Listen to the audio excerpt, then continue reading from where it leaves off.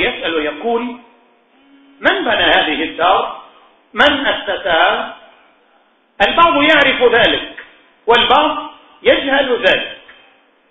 من أجل أن نرفع الجهل في هذه المسألة أسسها فضيلة الشيخ مقبل بن هادي الوادعي رحمة الله عليه إمام عصره ناصر السنة وقامع البدعة رحمة الله تعالى عليه.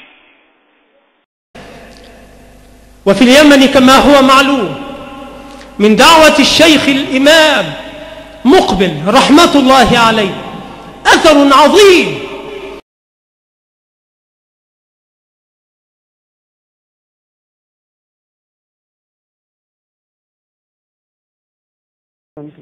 السؤال الثامن يا فضيلة الوالد هل يجوز مشاركة الجماعات المخالفة لأهل السنة في برامجهم والتعاون معهم؟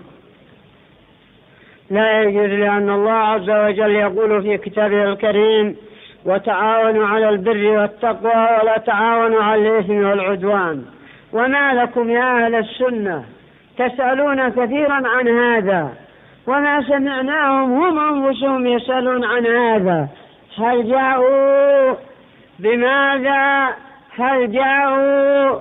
بخمسمائة ألف لطالب علم وقالوا نبغي تبني لك بيتا في صنعاء. أي نعم. أو تفتح لك مسجلات تسجيلات. نعم ربما يعطونه خمسمائة ألف.